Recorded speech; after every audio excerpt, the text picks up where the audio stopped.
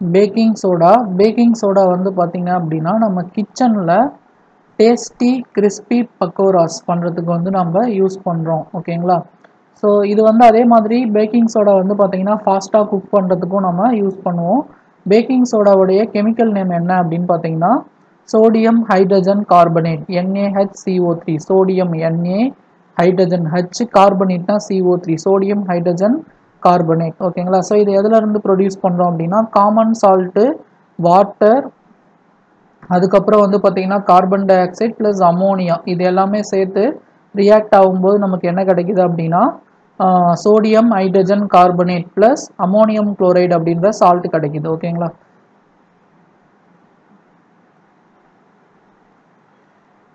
Packing soda baking சோடாவுடைய chemical இது வந்து பார்த்தீங்கன்னா sodium hydrogen carbonate.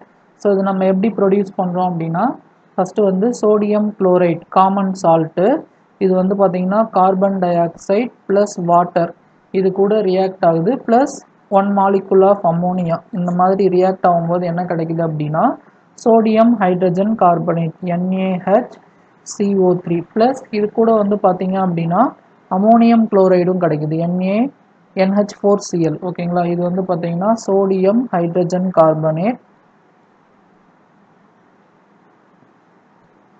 sodium hydrogen carbonate sodium hydrogen carbonate இதுதான் வந்து பார்த்தீங்கன்னா பேக்கிங் சோடா இது வந்து பார்த்தீங்கன்னா ammonium chloride ammonium chloride ammonium chloride NH four CL ஓகேங்களா அதுக்கு அடுத்தது இந்த சோடியம் ஹைட்ரஜன் கார்பனேட் இருக்கு இல்லைங்களா? இதை வந்து பார்த்தீங்கன்னா ஹீட் பண்ணோம் அப்படின்னா நமக்கு சோடியம் கார்பனேட் கிடைக்கும். ஓகேங்களா இந்த சோடியம் கார்பனேட் வந்து பார்த்தீங்க அப்படின்னா நிறைய யூஸ் இருக்குது ஓகேங்களா ஸோ இதை வந்து பார்த்தீங்கன்னா ஹீட் பண்ணால் என்ன நடக்கும் அப்படின்னா சோடியம் ஹைட்ரஜன் கார்பனேட் இந்த சோடியம் ஹைட்ரஜன் கார்பனேட் அதாவது பேக்கிங் சோடா பேக்கிங் சோடாவை நம்ம ஹீட் பண்ணும்போது என்ன கிடைக்கும் அப்படின்னா சோடியம் கார்பனேட் கிடைக்கும். NA two CO3 three plus இதிலிருந்து வாட்டர் மாலிகுல் வெளியில் போயிடும்.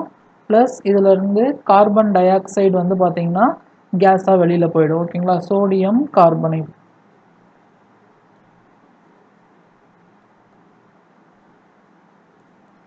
சோடியம் கார்பனேட் ஓகேங்களா இதுதான் பேக்கிங் சோடா பேக்கிங் சோடாவை ஹீட் பண்ணும்போது நமக்கு sodium carbonate plus water plus carbon dioxide கிடைக்குது ஓகேங்களா ஸோ இதான் இந்த டீட்டெயிலாக கொடுத்துருக்காங்க. ஸோ இது வந்து பார்த்தீங்கன்னா பேக்கிங் சோடா அதாவது சோடியம் ஹைட்ரஜன் கார்பனேட் ப்ரொடியூஸ் பண்ணுற ரியாக்ஷன் இது வந்து பார்த்தீங்க அப்படின்னா சோடியம் கார்பனேட் எப்படி ப்ரொடியூஸ் ஆகுது? ஓகேங்களா ஸோ இது வந்து மைல்டு நான் கரோசிவ் பேசிக் சால்ட் இது வந்து பார்த்தீங்க அப்படின்னா சோடியம் ஹைட்ரஜன் கார்பனேட்டை ஹீட் பண்ணும்போது sodium carbonate plus water plus carbon dioxide கிடைக்குது. நெக்ஸ்ட் வந்து பார்த்தீங்க அப்படின்னா இந்த பேக்கிங் சோடாவோட யூஸ் பேக்கிங் சோடா எங்கெங்கெல்லாம் யூஸ் ஆகுது? பேக்கிங் சோடா வந்து பார்த்தீங்கன்னா பேக்கிங் பவுடர் ப்ரொடியூஸ் பண்ணுறதுக்கு யூஸ் ஆகுது. ஸோ பேக்கிங் பவுடர்னால் ஒன்றும் கிடையாது. பேக்கிங் சோடாவையும் ஒரு மைல்டு ஆசிட் சாப்பிடக்கூடிய ஆசிட் எடிபிள் ஆசிட்னா ஈட் பண்ண ஈட் சாப்பிடலாம் ஓகேங்களா mild edible acid such as tar tartaric acid இது நம்ம ரெண்டும் வந்து நமக்கு மிக்ஸ் பண்ணும்போது நமக்கு என்ன கிடைக்குது அப்படின்னா பேக்கிங் பவுடர் கிடைக்குது. ஸோ இந்த பேக்கிங் பவுடர் வந்து பார்த்தீங்க அப்படின்னா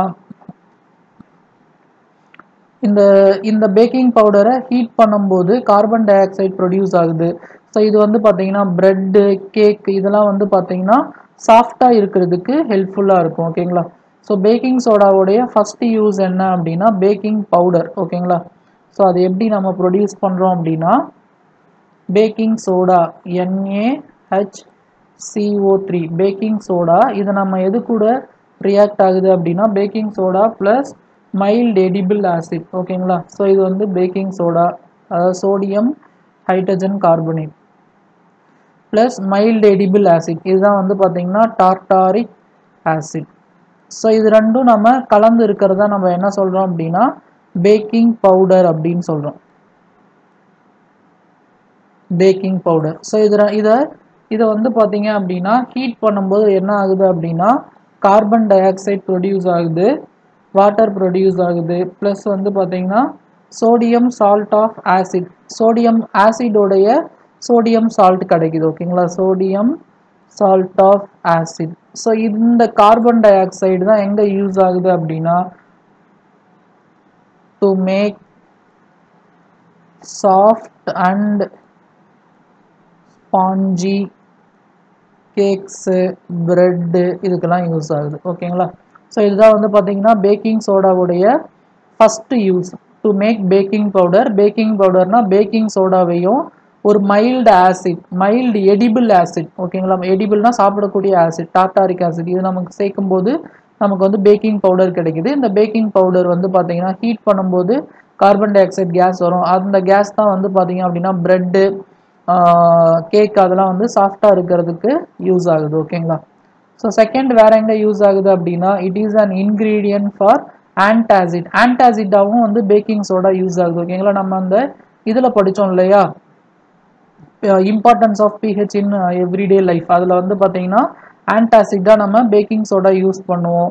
Being alkaline it neutralize the excess acid in the stomach so ஸ்டொமக்கில் இருக்கிற ஆசிடை வந்து நியூட்ரலைஸ் பண்ணுறதுக்கு பேக்கிங் சோடா யூஸ் பண்ணுறோம் அண்ட் ப்ரொவைட்ஸ் ரிலீஃப் அடுத்தது வந்து பார்த்தீங்கன்னா இது சோடா ஆசிட் ஃபயர் எக்ஸ்டிங்யூஷராகவும் இது யூஸ் ஆகுது. இது வந்து ஒரு இம்பார்ட்டன்ட் யூஸ் ஓகேவா which is used as soda acid fire extinguishers அந்த மாதிரி கேட்பாங்க.